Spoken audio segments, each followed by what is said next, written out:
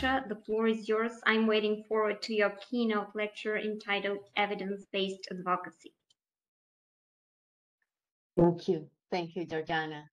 Uh, well, again, it is my pleasure to, to, to be here today and, and continue the, the dialogue we were having with my colleagues and friends. Uh, but now we will move to a very interesting topic and is evidence-based advocacy. I would start by telling that nothing of what we have discussed before could be possible if, without evidence-based advocacy. Uh, so before starting here, my disclosures, I do not have personal disclosure, but the Lymphoma Coalition received sponsorship from six companies in our past fiscal year. These are the companies that supported the work we do. And everything is publicly available in the Lymphoma Coalition website. And oh, um, I think I'm not sharing yet my screen, no? Uh, I need not yet. First... Would you like assistance? I've just give the presenting right no, no, I, I think I can do it. Okay. Yeah, it's coming. Now you can see the declaration of interest? Perfectly. Okay, perfect. Um,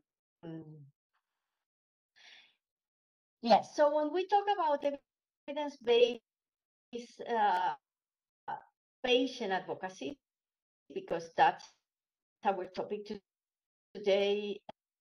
Um, I want first to define this well, because uh, I'm not sure if, everyone in the audience is is uh, familiar with, with the topic. So, advocacy means advocating and defending the patients, rights, including the caregivers, the family members, and all the community members in a targeted evidence-based, well-educated, and professional manner.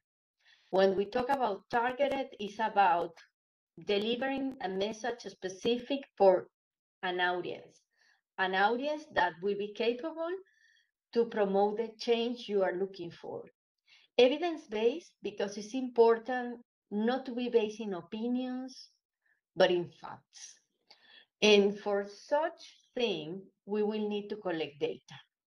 And that's one of the biggest challenges, how to transform the patient experience, the patient needs that may be not necessarily very objective, because everything that feels in the area of, for instance, patient reported outcomes, quality of life, could be very subjective uh, dimensions.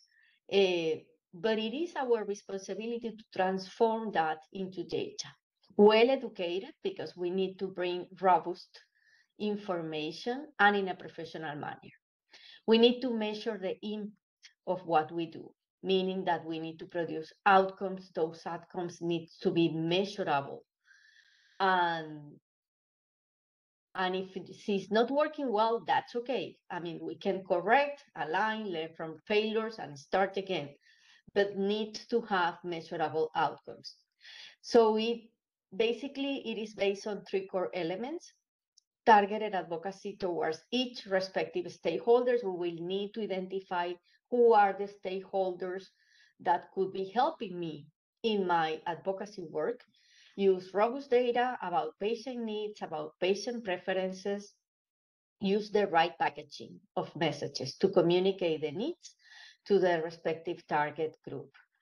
I want to acknowledge that I'm using the definition that the uh, work group of European Cancer Patient Advocacy Networks, WECAN, is using in the website, which is the consensus of 27 umbrella patient organizations, pan-European and European patient organizations working in the cancer space.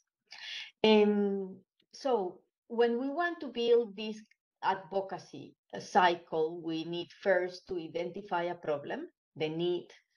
Uh, is this uh, something we can deliver research on so we can bring a series of facts? Can we provide any solution proposals? And what is the message? As we mentioned before in the previous panel, we will need to build alliances, partnerships with people And here, uh, you will see that I included start with the convinced because it's not only relevant um, to bring people to work with you, but it's important, essential that they will be convinced of what you are doing, that they are truly believers on what do you you want to achieve, because that passion will be fundamental when frustration appears. Then you need to plan.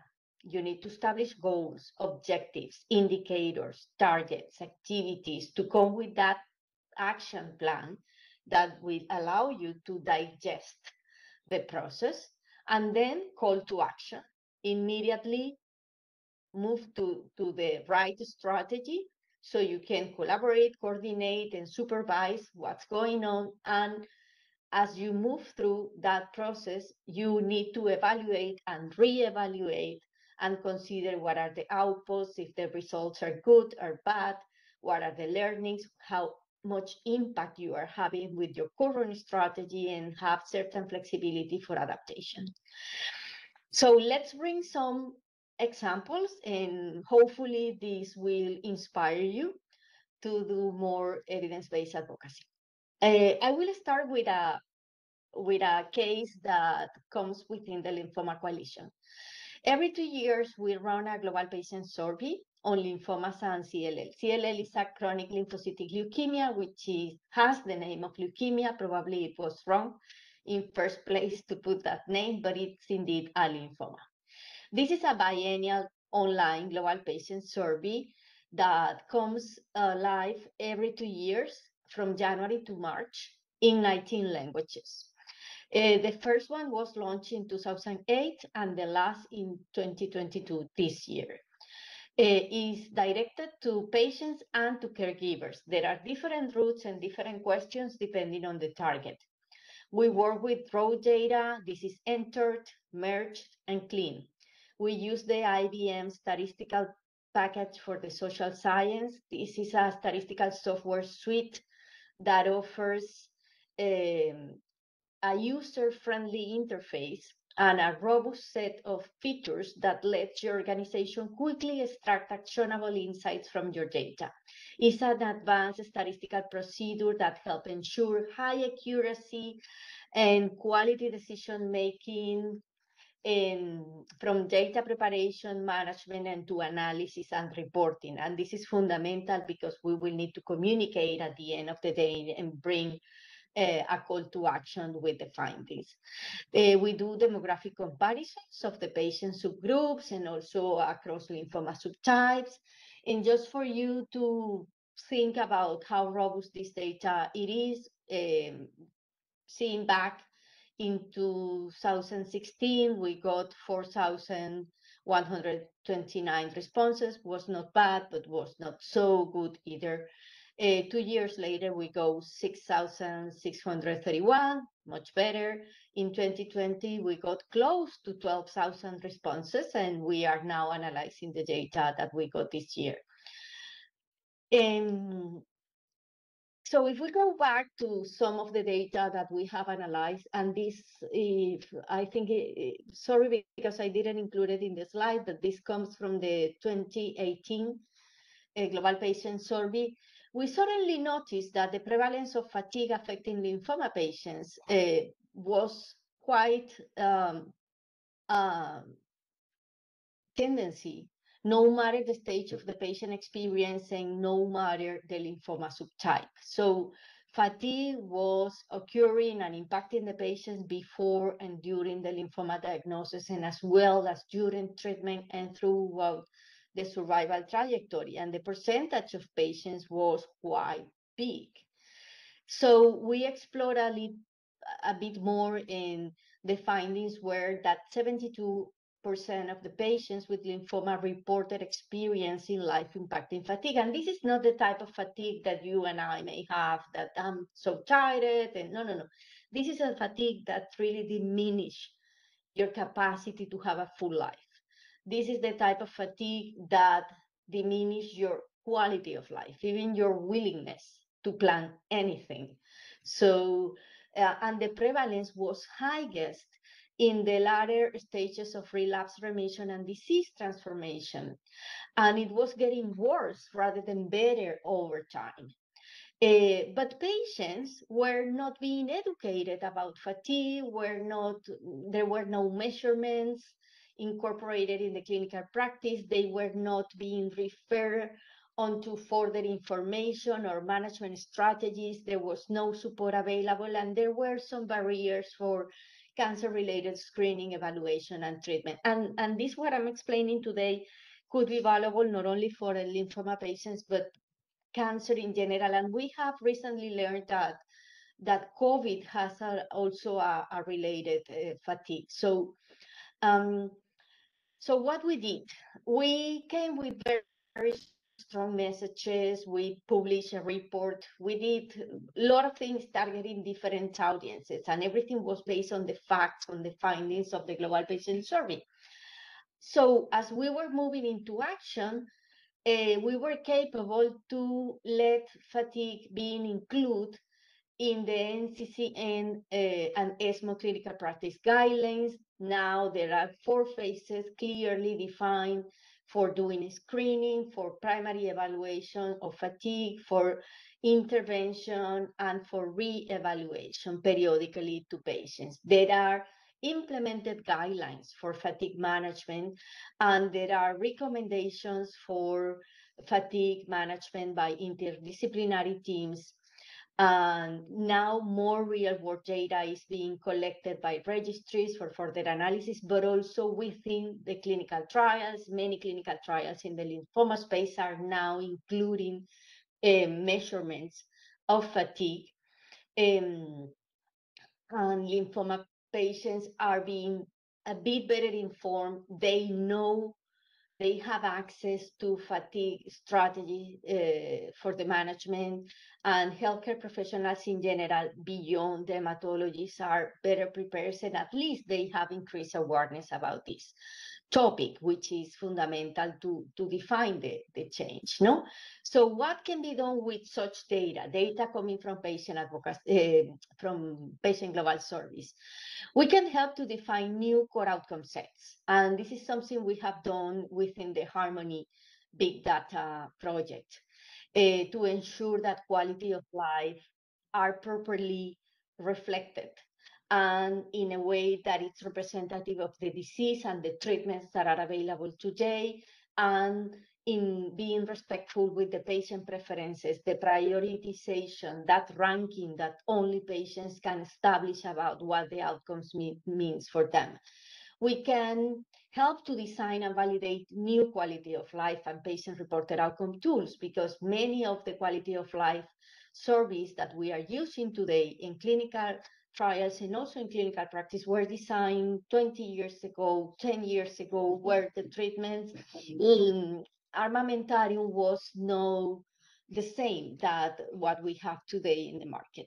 We can help to define endpoints within clinical trials, but also for clinical practice and, and really bring quality of life to primary endpoints. We can provide insights to regulatory bodies to understand that when we talk about efficacy, it's not only relevant the overall survival, but it's important what does it mean for the patients. When we talk about safety, this is not only about the adverse effects that uh, are measured as signs, neutropenia, what is happening in the blood, you know, those kind of things that are essential. Of course they are, but it's also fundamental how these things are translated into the patient's the uh, life disruption.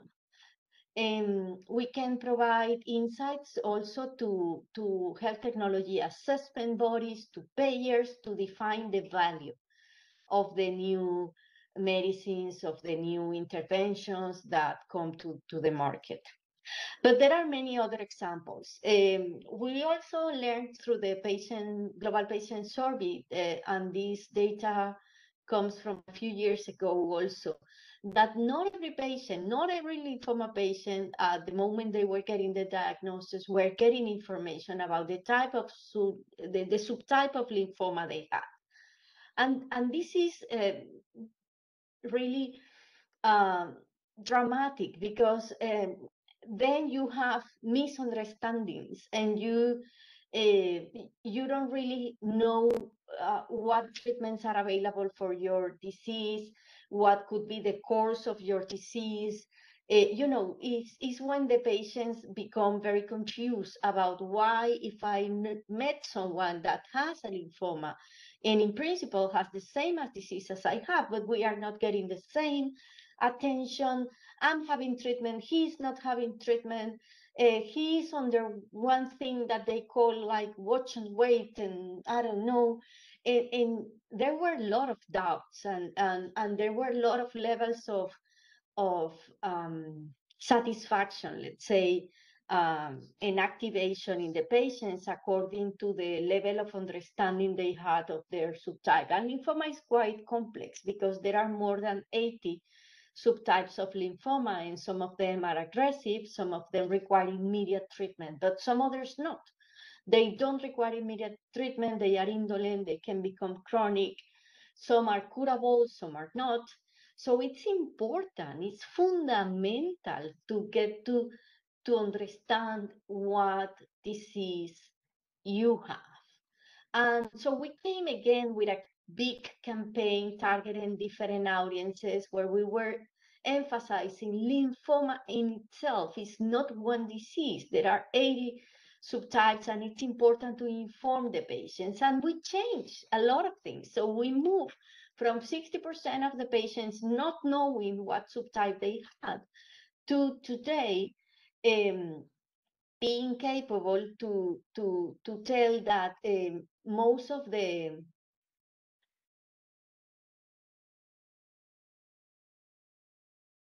most of the uh,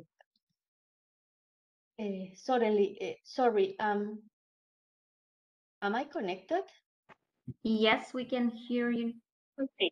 Is that that i i got a message in my computer that something was not working well so i was in panic. Yeah the okay. network is not good sorry. but we turned off your video and we hear you perfectly.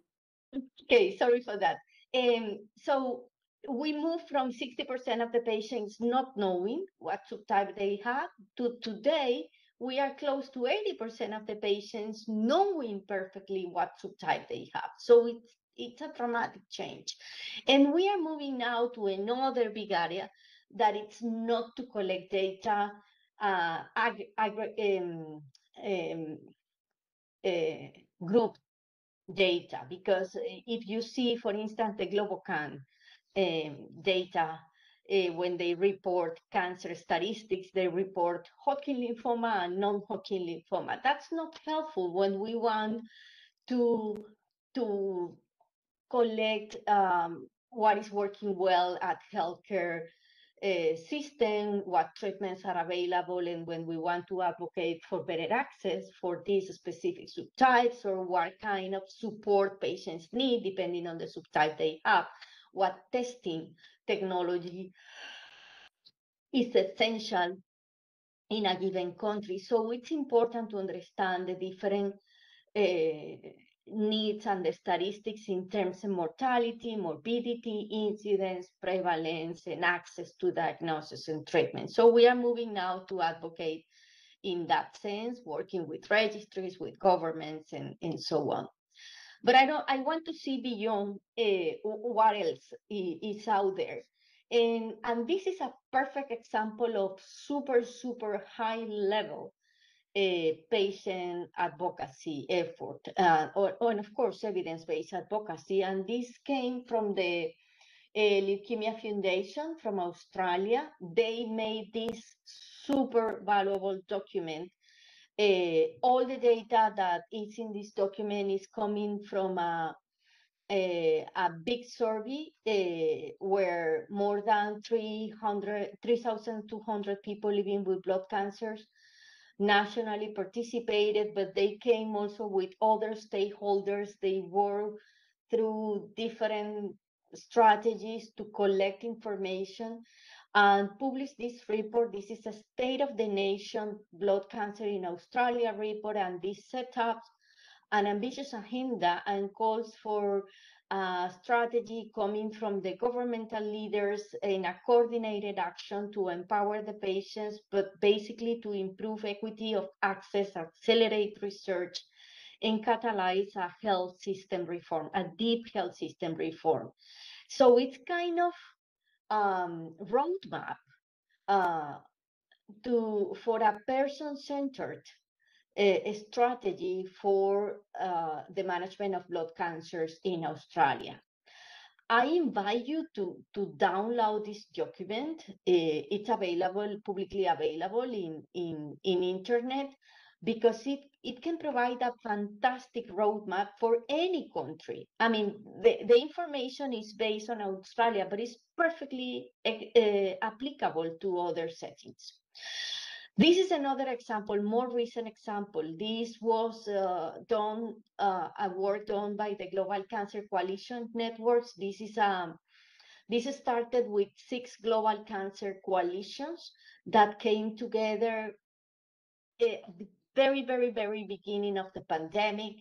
Uh, now we are, I think that 10 uh, global cancer coalitions um, working together. And this is a report that uh, came as a result of all the research uh, through the patient organizations to understand how COVID disrupted the activity of the patient organizations, but also the life of the patients and, and caregivers. I mean, and the, and the cancer patients and, uh, and caregivers. And again, it provides a roadmap on how to better address these disruptions. And it's a wonderful document that was presented in a Congress as well. It was well received. And again, it can be a perfect example in how to cooperate to bring the best uh, information possible for doing um, for doing advocacy work. Um, I will leave it here just in case there could be some questions. I want to conclude with this fantastic quote from James Leuven uh, that tells people have a right to their own opinions, but not to their own facts. Uh, evidence must be located, not created. And this is quite funny because it is true. I mean, the facts are there. You just need to collect them to structure the message and to disseminate. And opinions not backed by evidence cannot be given much weight. Uh, and this is something that really guides the work we do.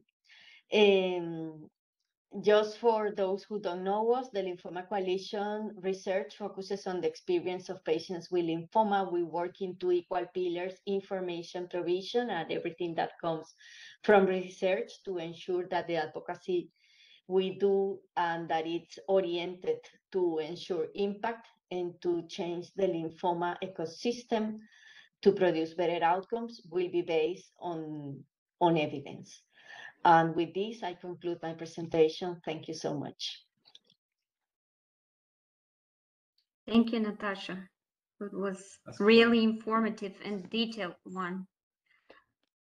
Uh, we we saw that evidence-based patient advocacy is really important and it's absolutely logically related to data access, collecting, analysis. So, what is the biggest challenge in front of evidence-based advocacy?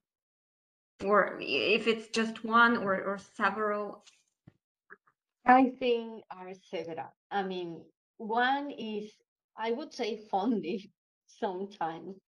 Um, yes, uh, an engagement because uh, collect data depends on how capable you are to influence others to provide the answers you need.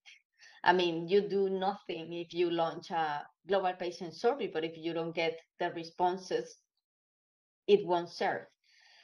But it's not only that, you need to follow a scientific methodology and you need to ensure that the data is going to be validated at the end of the day to be perfectly incorporated by other stakeholders that have in their hands that change. Um, so the engagement of your community is fundamental, and this is something you build every day. You cannot wait to launch your survey to oh oh now I need to ask all my partners, you know, to disseminate and to push people to provide answers. No, you need to be uh, to build your credibility and your community every day. Uh, and and and this is a constant effort and and it's a changing effort because the the priorities for the people change and we have seen very recently with the covid how suddenly everything was about covid we have been working quite close to the uh, in response to the ukraine conflict uh, by evacuating patients to receive treatment and care that was not anymore provided in Ukraine. Uh, and we were capable to do that work not only because we got the, the right partners, but be, because we were credible and because we had a, a community uh, already functioning well and partners perfectly well recognized and engage with the work we were doing. So it, that that's something that that it's uh, quite challenging. Um, funding, as I told before, and funding because there are not many opportunities for funding for patient organizations besides those that come from the pharmaceutical companies. That's the truth. Uh, in Europe, we have some opportunities coming from the European Commission, but we all know that the criteria to get access to those opportunities are quite strict and, and deep, and, and not every organization has achieved yet that level. And that does not mean that they are not doing a good work, that they have very good governance and they are very well manage patient organizations, but they are not yet there. And so there is there is one side calling for more independency, more you know less dependency on the pharmaceutical companies, and it is true that we all are looking for that. But then you have the, the, the reality, and the reality is that there are not many funding opportunities. Um, and I would say also that the capacity to deliver the message, to deliver the message and to target the right audience at the right time. Sometimes it's about being there at the right time. And, and, and those are some of them. And, but not not only those. I mean, we could yes. be speaking one day about the challenges. It's a it's a complex situation indeed. And based on your experience, are patients willing to share their data? Yes, yes. yes. Uh, and in my experience, patients are much more willing and open to share their data. What they want to know is that the data is going to be used with um, responsibility and for the benefit of other people that could be facing the same today or after, I mean, or, or are coming next. Um, there are there are several barriers for sharing data today, and I think that we have more barriers that that what we could have imagined before. I am a truly believer that we need to protect data. That's true, but this cannot go against the, the, the capacity to speed up advances and to speed up learnings. So patients are truly open to share their data if they know that this is going to be anonymized and if they go that uh, there will be, uh, you know, fundamental principles um, to manage that. Yes, they need a guarantee that uh, exactly. it will be securely uh, keep, kept and used on purpose. Exactly. Yes. Thank you. Thank you, Natacha. It was it was really detailed and informative presentation and thank you for being with us today. thank you for inviting me. Has been a pleasure. Hopefully, I will meet you uh, in the future, in the near future. And I'm I'm open. I mean, I'm very happy to to answer any other question. Uh, um, my contact details are available. Uh, so I would be more than happy to be able to cooperate with anyone interested. Thank you so much. Thank you. Have a Thank you. You too.